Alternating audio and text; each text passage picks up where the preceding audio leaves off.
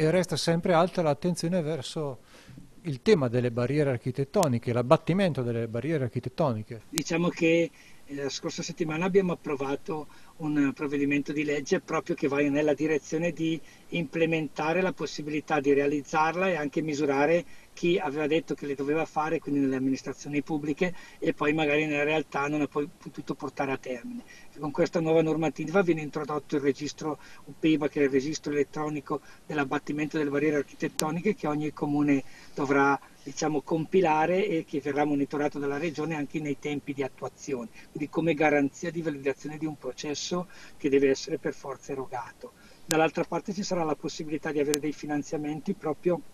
anche per quelle attività di, di, tipo privato che prevedono l'abbattimento, quindi è vero che è obbligatorio, ma anche la possibilità di avere dei finanziamenti per poi poterli realizzare. E non da ultimo verrà anche tutta una considerazione per tutte quelle attività turistiche, eh, che, quindi quei bandi che dovranno in qualche modo sostenere il rilancio dell'economia, privilegiare coloro che prevedono l'abbattimento delle barriere architettoniche. Il tutto è ovviamente per andare a finalizzare una maggiore implementazione dell'attuazione di queste opere. Il sottoscritto inoltre ha portato un ordine del giorno che è stato approvato dalla maggioranza che è stato quello di incentivare poi le risorse dentro questo posizionamento di legge perché poi senza le risorse non si va da nessuna parte, oltre anche ad aver fatto in modo che all'interno delle commissioni che devono valutare i bandi ci sia la formazione necessaria portata avanti dalle associazioni che vivono questo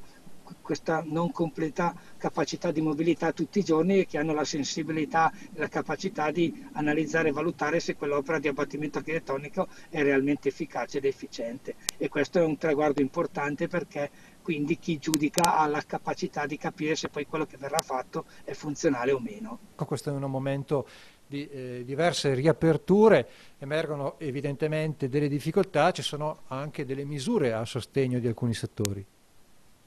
Diciamo che abbiamo fin da subito, ormai da due mesi, che abbiamo cercato come Regione Lombardia, là dove c'è la possibilità di far ripartire anche attraverso degli investimenti e mettendo a disposizione delle risorse. L'abbiamo fatto prima con i comuni con un, progetto di legge che è diventato legge con oltre 3,3 miliardi distribuiti su due anni per tutte le amministrazioni comunali e in questo momento qua sollecitiamo tutto il mondo del commercio attraverso la disponibilità di 22 milioni di euro per i distretti del commercio, che sono quei distretti che sono molto funzionali anche a riprendere la tipologia delle attività locali e come anche sui nostri territori che molto fanno per fare sinergia diciamo, di rete attraverso tutte le, le, attività commerciali e partecipando a questi bandi avranno a disposizione maggiori finanziamenti per poi fare una serie di iniziative sia collegiali sia mirate che aiutano anche a riportare all'interno delle attività commerciali tutta una serie di clienti e di attività economiche necessarie per il loro sostentamento.